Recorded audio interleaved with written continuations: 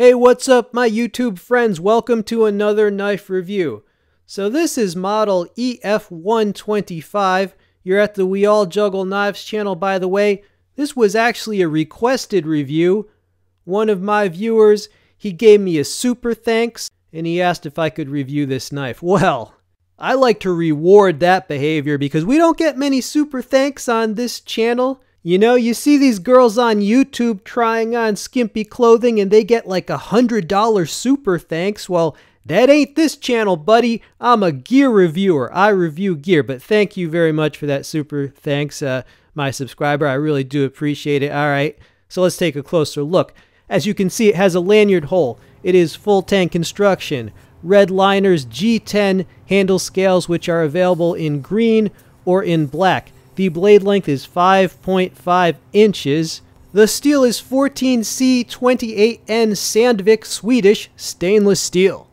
When I first got the knife, it did require a touch up, and so I did touch it up using those diamond coated rods and the Spyderco Sharpmaker, and I also used some fine grit ceramic rods uh, after that, but I touched it up for no more than two minutes. Okay, so this demo is after a two minute touch up.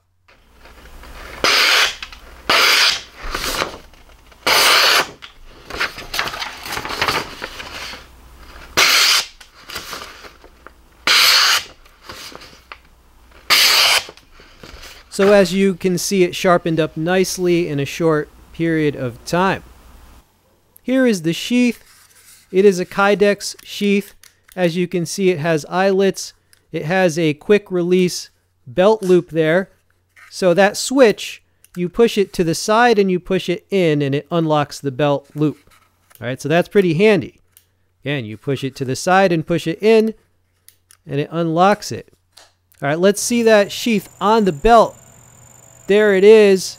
Now, I am left-handed, so if it was on that side, I would most likely you know, uh, I, I would pull it out like that. It's just easier.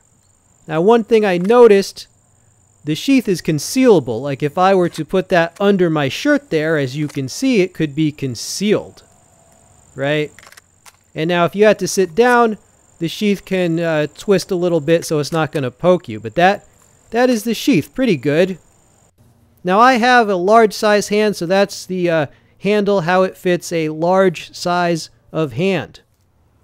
Okay, cutting some things with this knife. Got some seatbelt type material. I hope you're all doing well these days in these these days of rage, these unprecedented days of, of hardship, of international crisis, of gear reviews on YouTube. All right, it did well on that. Some paracord. I just want to show how easy it is. Yeah, super easy on that. I got a piece of a box. Now this is I sharpen this myself, so it's quite sharp. You could use it if you forgot your utility knife, you could use it. Here it is whittling. Sped this footage up a little bit. But as I said, I hope you're all staying uh, happy and healthy and productive in these tough times. I will continue to try to produce content for you to uh, inform you, to help you get good gear, or just for some good distraction, some good entertainment. Okay, well that sharp edge was very good for whittling. We got our pointy piece of wood there. Next up, making some kindling sticks with this. Now the knife is not especially long, so there is a limit on how thick of a piece you could baton, but I don't know, maybe you just wanted to make some kindling sticks or you had to size a piece of wood to carve whatever you need to carve. Uh, it's a pretty strongly constructed knife, definitely. Alright, so there's your little kindling sticks. Next up, we've got some food. Now, that is pork belly. I'm a big fan of pork belly. This is a very sharp knife. Could you use it at your camp kitchen? You certainly could. This is good for cutting through meat, organic matter, Maybe you want to process some game.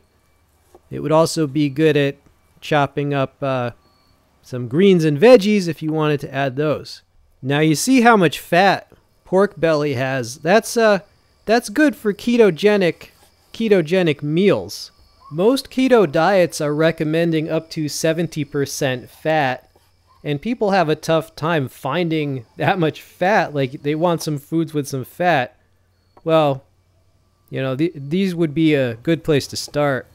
If you need more fat, just try pork belly. It's basically like bacon. I cook this stuff in the pan. Right? I cook it in its own fat.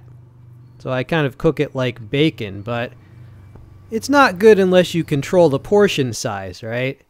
But that's how it turned out. So that skin is very crisp and crackling, and it is just very good because that fat adds a lot of flavor. Like I said, it is keto, but you got to watch your portion size. If you're trying to lose weight, you definitely got to control the portions. But it turned out really well, and that was dinner. Final thoughts on this knife. It would make an excellent camp knife. That's what I would say. You see the blade shape is very good for piercing and very good for slicing. This excels at cutting organic matter, whether you're talking about meat or you're talking about whittling wood, carving a tent stake, splitting some smaller pieces of wood or whether you're slicing through some meat, whether you brought the meat with you or you're processing game, this would just be an excellent and strongly built camp knife.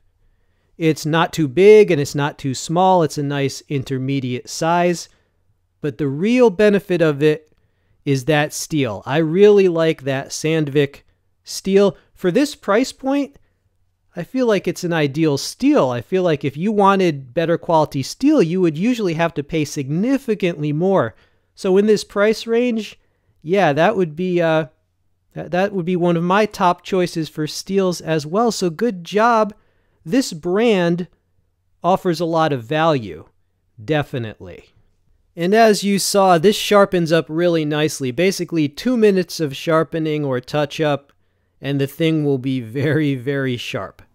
Now, uh, we haven't really talked about weapon usage. You know, YouTube doesn't like us to do that, but just between you and me, you can see how piercing that tip is and then how the blade widens out. Yes, it would be effective in that capacity as well. All right, so I hope you enjoyed this video.